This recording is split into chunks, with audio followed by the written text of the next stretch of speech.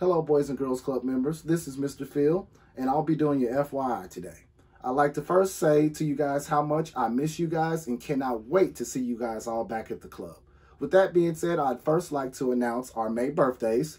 Today, I'd like to say happy, happy birthday to Quentin Manwarn and Gabby Ware.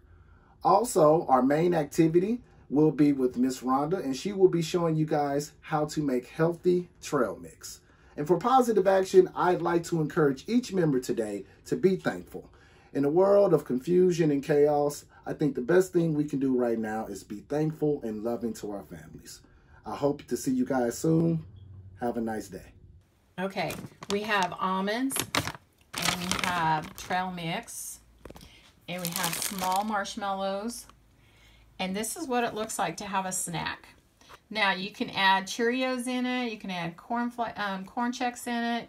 You can add anything into it to make a snack mix. But I use these things because they have a lot of energy in them. And I like marshmallows. It's Miss Mendoza here. Remember to post your pictures or your videos to band for your chance to have your name drawn for a prize. Thank you for watching and stay safe and we will see you guys soon. Bye. Hey,